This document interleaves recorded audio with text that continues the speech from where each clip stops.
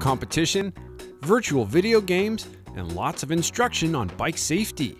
Put it all together, and that is exactly what the fifth graders all over Long Beach are learning thanks to a fun collaboration between the city, schools, and several other organizations.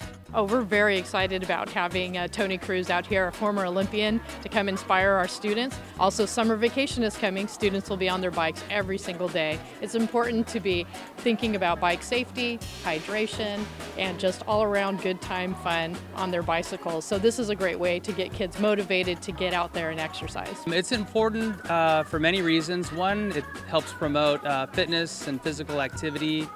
Two, um, it really helps us uh, teach the kids how to um, properly ride safe out on the roads, the, the, proper safety gear, and then teach them too to be uh, teachers themselves for their younger siblings and their parents. Getting kids interested in biking at school, for fun, or even to race are all part of the city's goal to become a healthy, active place where walking, swimming, and biking are encouraged and supported.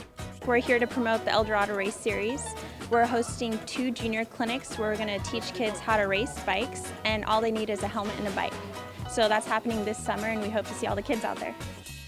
Today, Pedal Movement is here to teach a bicycle safety class to uh, fifth graders to get them prepared to go out and ride in middle school and high school. So this is the stage where they will begin to, you know, ride their bike out in the streets on their own. So it's very important that they know how to do it safely. While key messages like always wearing your helmet, using proper hand signals, and following all the rules of the road were covered, it was also an opportunity for kids to cheer on their favorite racers in a worldwide biking race hosted by Zwift.